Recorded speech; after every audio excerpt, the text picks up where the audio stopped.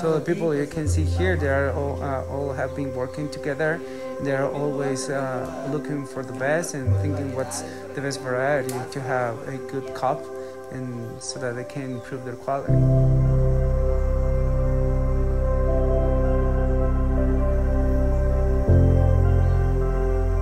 So they had the, they had that idea of you know being together from this cup and find uh, uh, better places to sell their coffee.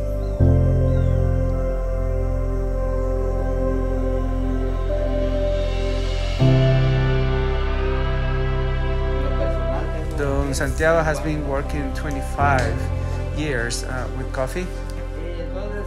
The idea that they had first and why they formed this club is that they wanted to explore their coffee. And they belong to a club called Cosamaj. Es eh, cooperativa de.